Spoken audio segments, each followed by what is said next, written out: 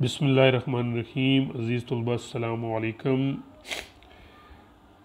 Online lecture के सिलसिले में हमारा ये सिलसिला जारी है, जब तक आपके कॉलेज ओपन हो रहे हैं पंद्रह सितंबर से।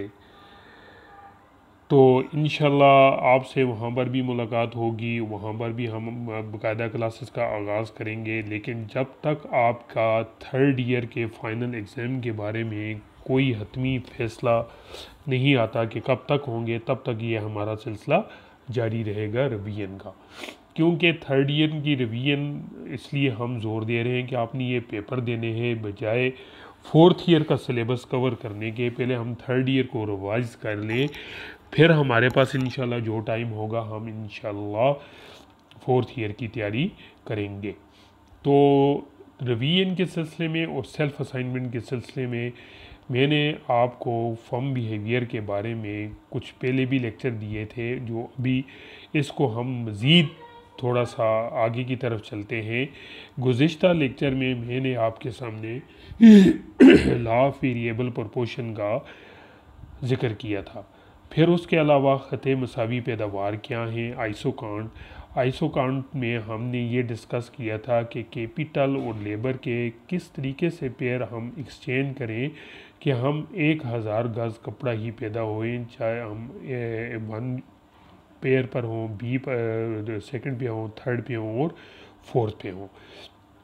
फिर नक्शा खतूत मसावी पैदावार में बहुत सारे खतूत मसावी पैदावार हैं, जिसमें हम कैपिटल या लेबर के मुख्तलिफ़ पेयर लगा के ज़्यादा से ज़्यादा क्या कर सकते हैं, पैदावार ले सकते हैं।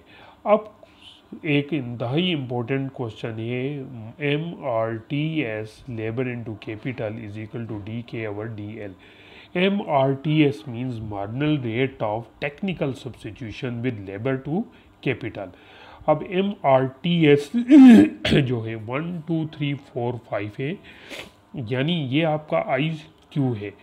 सबसे पहले डिफ़ाइन करना है कि कानून मुख्तम फ़नी शरफ इस्तबदाल क्या है?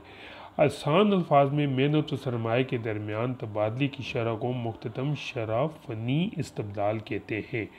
यानी अगर ये क्वेश्चन आ जाए तो आपसे कहा जाए कि कानून तकलील मुख्तम शरह फ़नी इस्तबदाल क्या है तो आपने एक से लेके पाँच यूनिट बनाने हैं। यानी ए, बी, सी और डी। अब इसमें हम देखते हैं एक से लेके फाइव यूनिट है।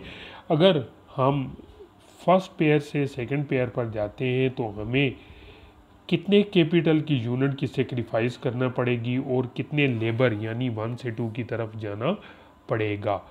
यानी एट पेयर ए से वन से टू की तरफ़ जिस वक्त हम जाते हैं तो कितने कैपिटल की यूनिट की कुर्बानी देनी पड़ेगी और कितनी लेबर की यूनिट को हमें एक्सचेंज करना पड़ेगा। सिंपल हम कह सकते हैं कि हम कैपिटल की कितने यूनिट छोड़ रहे हैं और लेबर का कितने यूनिट लगा रहे हैं। इसको अगर हम मज़ीद मैथमेटिकल पोर्शन के ज़रिए करें तो M R T S A B और बी सी डी के और D L is equal to O K minus one into O K two और O L minus one O L minus two इसको अगर हम simplify करें तो हमारे पास minus four आता है। तो माइनस का ही अलामत, ये जहर करती है कि marginal rate of technical substitution में जो माइनस है, यानी ये नीचे की तरफ़ जाने का रुझान रखता है और इसकी स्लोप क्या है? नेगेटिवली है। तो ये अज़ीज़ तलबा हो गया जी मुख्तम शरा फ़नी इस्तलाल और इसी तरीके से प्रिंसिपल ऑफ़ डिमेंशनिंग मॉडल रेट ऑफ़ टेक्निकल सब्सिट्यूशन असूल तकलील मुख्तम फ़न शरा इस्तलाल क्या है? अब मिसाल के तौर पर हमारे पास लेबर हैं और कैपिटल है।